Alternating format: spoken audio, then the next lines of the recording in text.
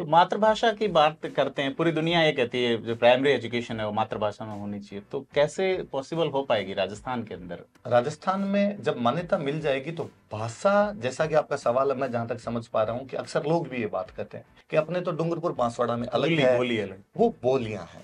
जब मान्यता मिल जाएगी तो भाषा का एक लेवल अलग बनेगा। वो भाषा सबको समझ जाएगी। मैं अक्सर कहता भी हूँ कि जब आज़ादी से पहले का समय था तब भी तो जयपुर और जोधपुर के लोग आपस में बात करते हाँ, थे।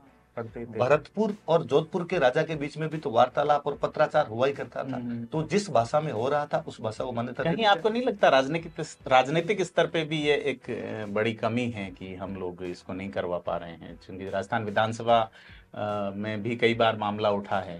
पॉलिटिकल विल वाली बात है भी इतने बड़े ज़ोर शोर से पॉलिटिकल विल से बात नहीं उठाई गई।